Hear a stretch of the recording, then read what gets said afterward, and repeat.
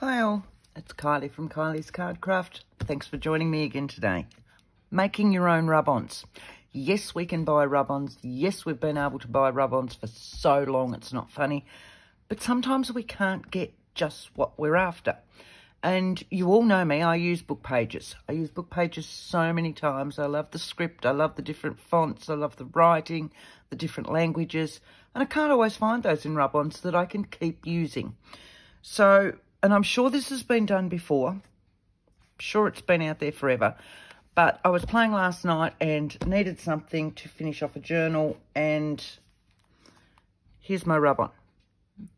Can you see that? So I wanted this faded in rub-ons like you get with the 49 and Market ones at the moment. So I've got packs of these. So they give you this faded in look. But, and I love these. But then when it's gone, it's gone and I'm going to have to go out and buy more.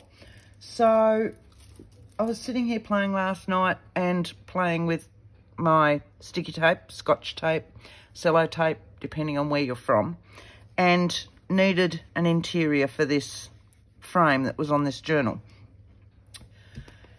And it worked.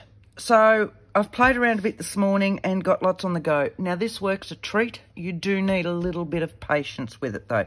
And not all books work. I've worked that out this morning.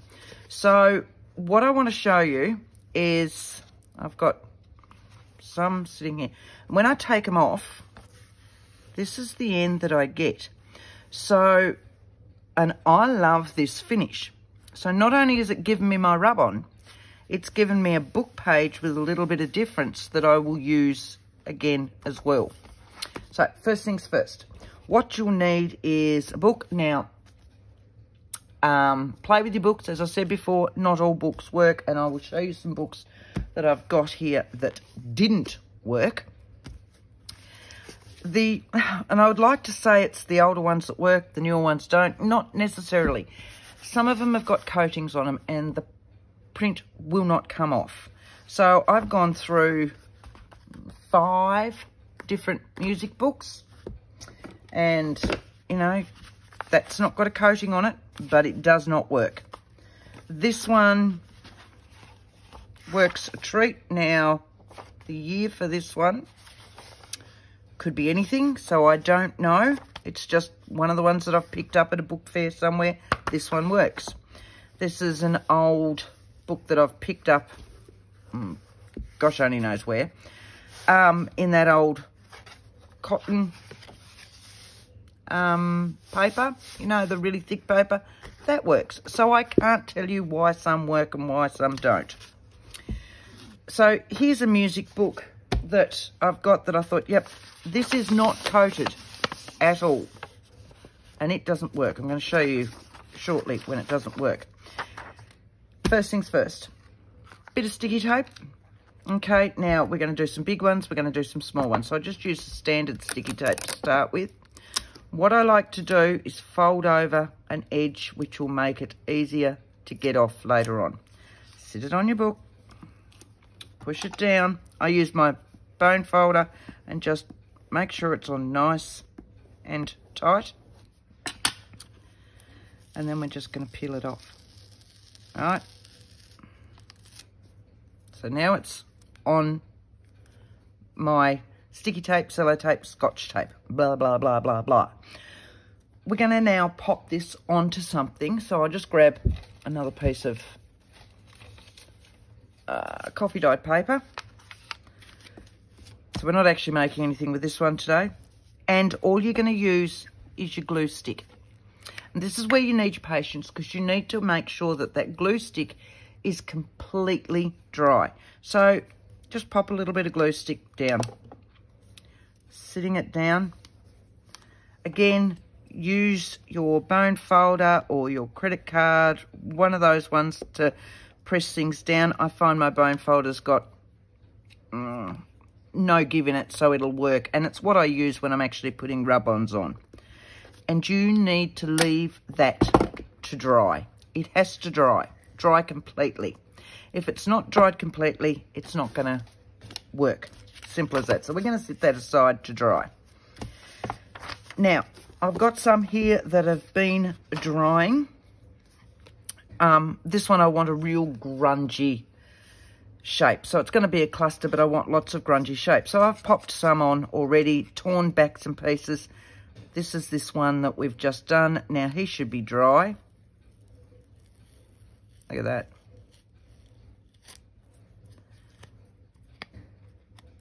So I like this look. It's just, it means I can collage my papers without actually having the bulk of collaging my papers or tearing off papers and working out where I want to go because I can just layer over without worrying about it.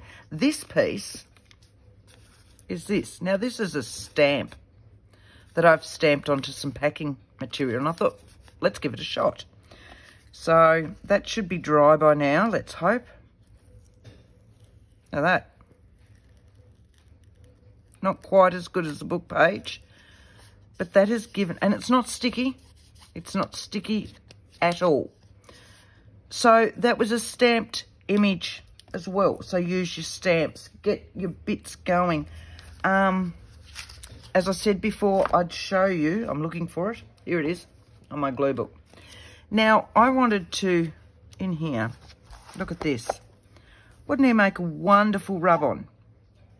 And I thought, yep, I like that.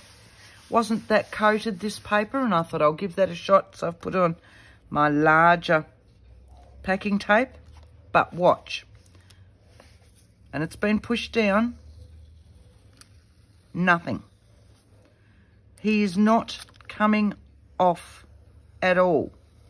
That is just peeling straight off with a little bit of strength. And what it also does, oh, gotcha. Nothing on that, nothing at all. And it's made it sticky and dirty now because my hands are filthy. Can you hear the stick? So, and I'm going to have to tear that out and using that as a glue page because um, otherwise it'll stick together. It is my glue book, but still. It's, it's trial and error. It really is. Um, this one, she should be dry by now, was out of this. And this is this rag paper or cotton paper. You know, the really thick paper of the older kids' books? There she was. Okay. So I've peeled her off, popped her onto some uh, coffee dyed paper. So it's just normal copy paper, which is what a lot of my signatures are made out of. So let's have a go and see if she's dry now. Oh, look.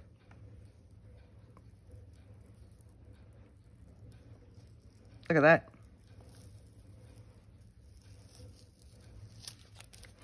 There is a little bit left on there. She's a little bit sticky, but she's on there. So let's have a look at the, now this is just a Xyron is the brand glue remover. So you just rub it over.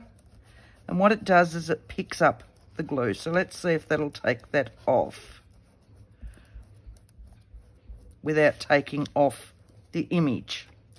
As I said, this is all just trial and error, and I was playing last night because I wanted something in that frame for that journal to finish off that journal because that's about finished now. I've got a few tags to go, and then it'll be off to market.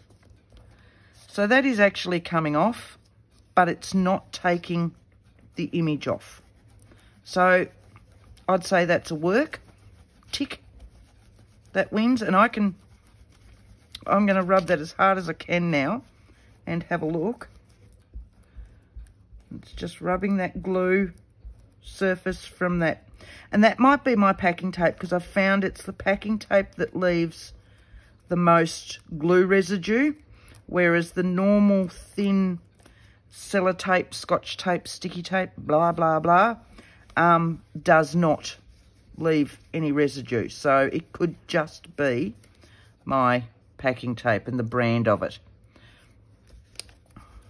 And I've got lots of other ones. I think down at work I've got a different brand. So I might even try, bring one of those home from work and try that. But that's coming off a bit messy. Yes, I can see that but it's taking that glue off. So that's just a matter of working at that.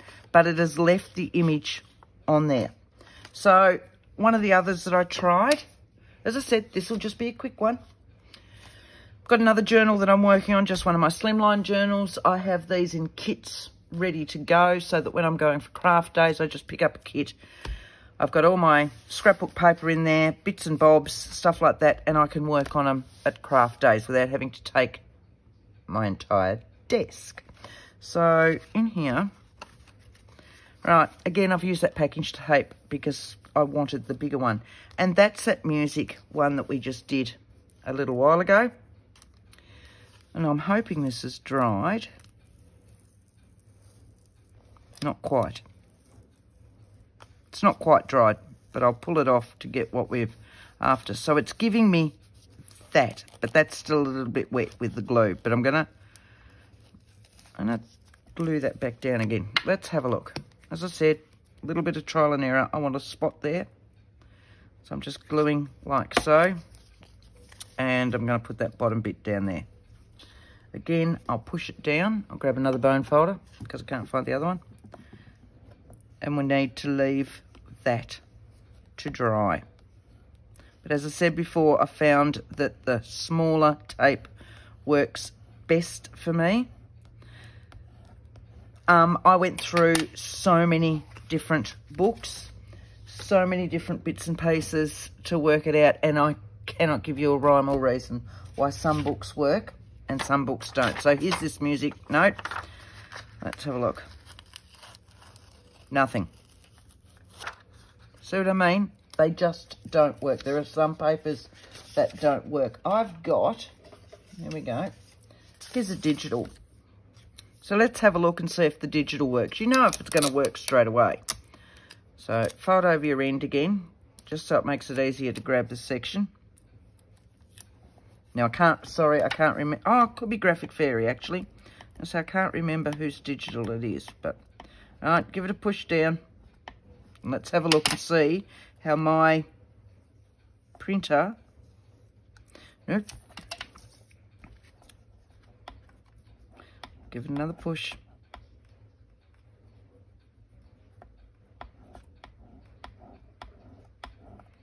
Right.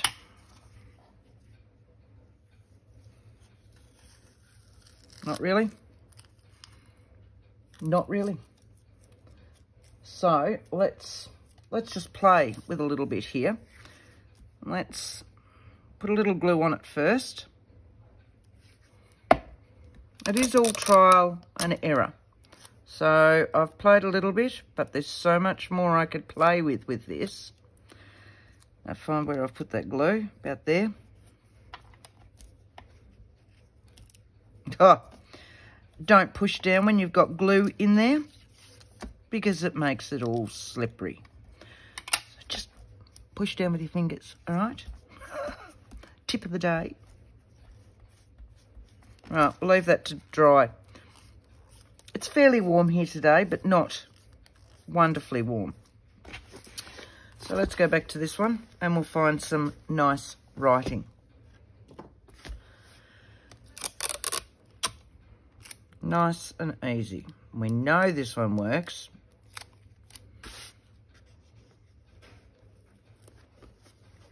That one just a push. Look, now I've got two bone folders there. And I think I've got another two in my drawer because I lose them. Look at that. See, you can tell straight away if it's going to work. So here's this one. Let's pop this one on this one. And I want a little bit up there now like that. So again, I'm just going to, and I can glue over where my other bits are. Now this is just one of the die cut pieces that I have in my cluster box ready to be done um, that are out of the old KaiserCraft pads or any die cut shape if you want to cut them out from your die cutting machine. Oh, speaking die cutting machine, I'm trying to get everything done today, this morning. It's now this afternoon. I haven't done well, have I? Um, got two loads of washing done. I've got a silver side on for tea. Got the dishwasher done. The bed's made. Done all that because once I've got everything done, I can have a play. Yesterday, I treated myself and I went out and bought a Cricut Joy, one of the baby ones, just to fit on my desk. Um, used to have a Cricut many, many, many years ago when they first came out. And the big ones, big, big, big, big, big ones. And in those days, they were the cartridges that went in and all the rest. And then when we moved to Geelong eight years ago, I sold it because I was using my big shot more than the Cricut. And they were starting to go digital then. And I thought, eh, I probably won't. My technical skills were rather limited. They still are, but they're getting a little bit better. And I've given in and I've gone and bought a little Cricut Joy. So it's sitting behind me, screaming at me, Kylie, Kylie, play with me. And it's still in the box. I haven't even undone the box. I haven't even undone the little plastic bit on the box, the sticky tape on the box to have a look because I've got to get everything else done before I can. So it's just, yeah, oh. So you might see bits and pieces like that come up soon. We'll see how we go. That's not dry. I wonder if we can dry this with the heat gun. I haven't dried glue stick with a heat gun before. So let's have a look.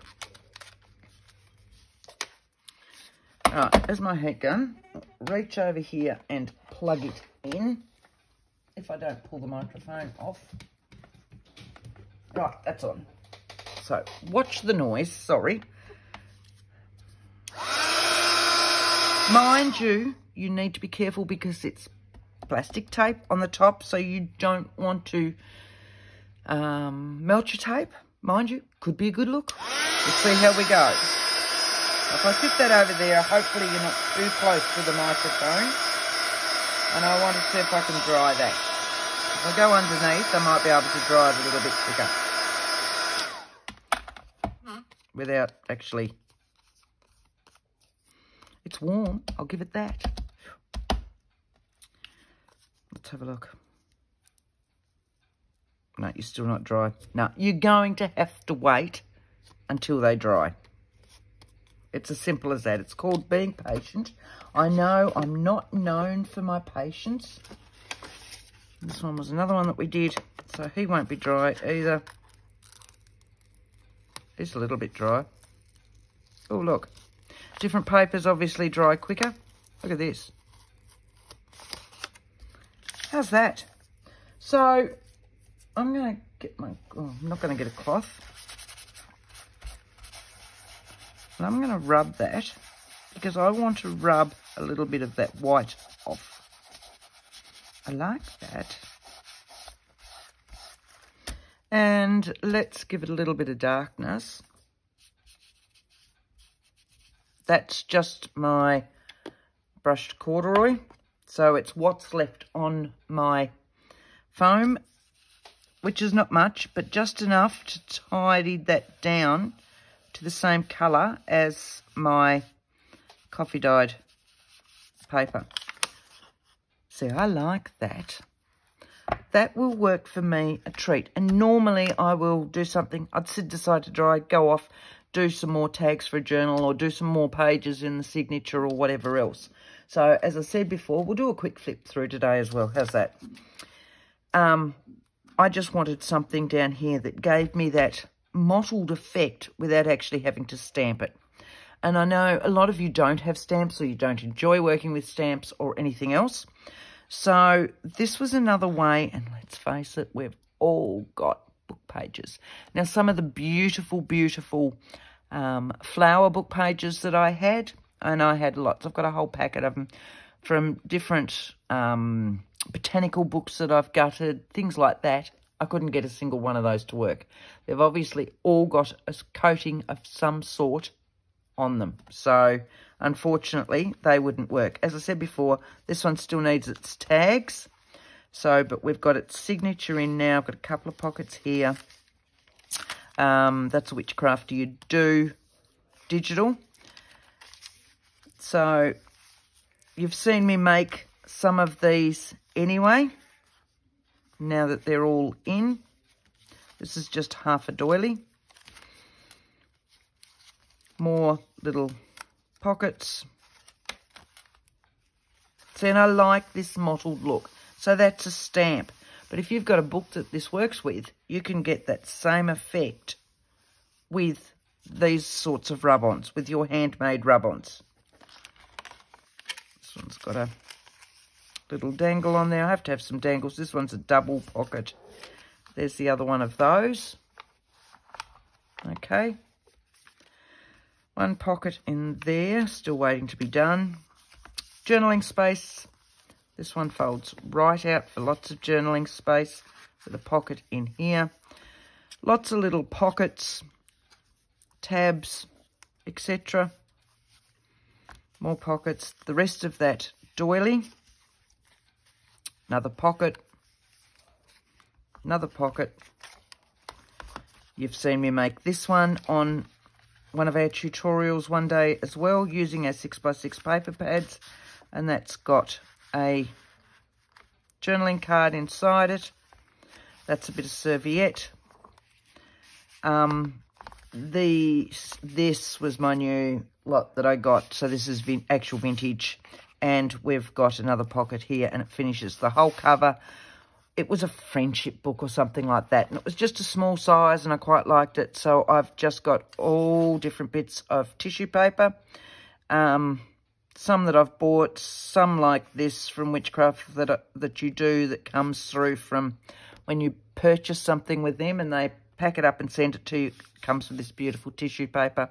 And I've just collaged both front and back with that. And there could be five or six layers in there. I've given it so many layers and white. And then I've sanded it all off and then sanded my edges and sanded my edges all in here just to give it that really loved look.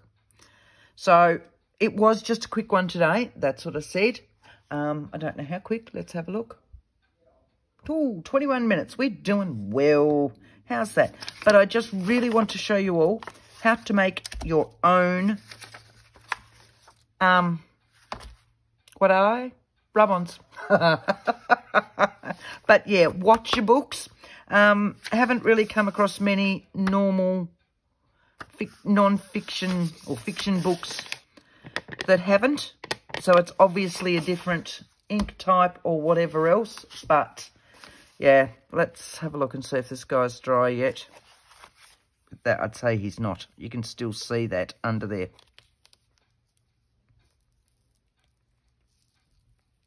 No, he's not. You can see the glue moving.